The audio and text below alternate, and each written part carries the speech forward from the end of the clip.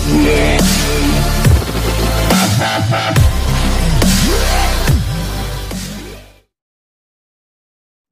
दोस्तों, हमारे चैनल पारस क्रिएशन पे आप लोगों का स्वागत है। दोस्तों, आज हम लोग आपके लिए एक छोटी सी वीडियो है, लेकिन ये बहुत महत्वपूर्ण चीज़ है। इसके बारे में आपको बता रहा हूँ। डिश एंटीना को पेंट करना। दोस्तों, डिश एंटीना पाँच साल, छह साल के बाद जो है, उसमें जंग शुरू हो जाती है और वो उसकी सुंदरता भी कम हो जाती है। तो उसको पेंट करने से पहले अगर आप पेंट करना चाह रहे हैं तो उसके लिए मैं ये वीडियो बना रहा हूँ। पहला चीज़ है दोस्तों पेंट जो है हमेशा पतली करें। अगर आप इनामिल पेंट लाते हैं मार्केट से तो पेंट जो है तो उसमें थीनर डाल के ब्रश से धीरे धीरे रोलर से करके उसको पतली, जितनी पतली करेंगे दोस्तों, उतनी अच्छी रहेगी। अगर वो मोटी हो जाएगी तो थोड़ी सिग्नल कम हो जाएगी। दूसरा चीज़ है दोस्तों पेंट का चुनाव। पेंट जो है, आप हमेशा मैट फिनिश वाला इनामिल कर सकते हैं। तो दोस्तों मैट फिनिश क्या होती है? मैं बता रहा हूँ मैट फिनिश होती है, इस पेंट में आपकी चमक नहीं रहती है।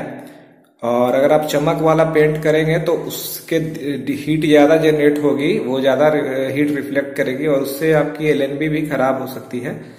इसलिए हमेशा जो है पेंट मैट फिनिश वाला आप यूज़ करें। अगर आपने शाइनिंग ग्लॉसी अगर आपने उस पर लगा दिया है तो आप उस पर रॉबिन से उसको रफ करके दो बार, तीन बार आपको रॉबिन लगानी पड़ेगी। इस बात का आपको ध्यान रखना पड़ेगा। तीसरा चीज़ है दोस्तों can spray can can spray जो मार्केट में डब्बे में आती है, वो बहुत अच्छी है। उससे आपकी डिश तुरंत पेंट हो जाएगी। ब्रश से पेंट जैसे मैंने पहले बताया दोस्तों, पतली करें और रोलर का इस्तेमाल करें। और एक और चीज़ है दोस्तों जंग वाली जो डिश रहती है उसमें सिग्नल एक से तीन परसेंट कम आती है।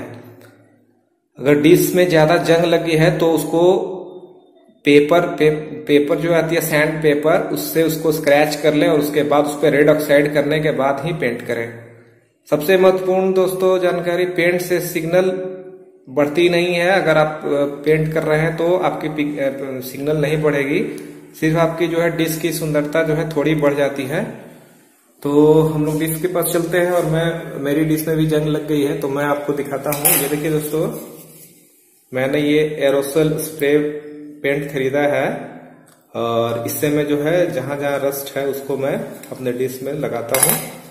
तो इसकी प्राइस ज़्यादा नहीं है दोस्तों, ये अस्सी रुपये में आती है। बाइक वाली दुकान में आपको मिल जाएगी, जिस कलर का ढूंढेंगे व्हाइट सिल्वर हो ग्रे हो। तो ये मेरा ग्रे कलर का है। ये देखिए मीडियम ग्रे है तो मैं इसको टेस्टिंग करके आपको बता रहा हूँ। तो मैं, चलिए, अब हम लोग अपने डिश के पास चलते हैं दोस्तों। सी बैंड वाली डिश है, और मैं अभी इस पे आपको पेंट करके दिखा रहा हूँ। केन को थोड़ी जो है केन को आप शेक कर ले 20 से 30 सेकंड उसके बाद जो इस तरह से स्प्रे करें।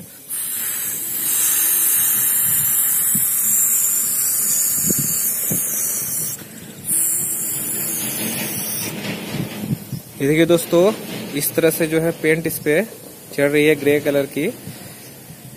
इधर देखिए, इसकी कलर दूसरी है और इधर दूसरी है। तो इस तरह से आप अपने डिश को पेंट कर सकते हैं। कुरियर में अगर आपकी डिश आती है तो उस पर बहुत सारे डेंट आ जाते हैं तो आप इस पेन की मदद से उसको जो है ठीक कर सकते हैं। अभी इस, इस काफ़ी ये इसकी जो है पेंट जो है कैमरे में भी आ रही है तो मैं दोस्तों इसको इस तरह से मैंने आपको बता दिया है आप कर सकते हैं। हमारे चैनल पारस क्रिएशन पे बने रहे हमारे चैनल को लाइक करें दोस्तों शेयर करें और सब्सक्राइब करें। धन्यवाद दोस्तों।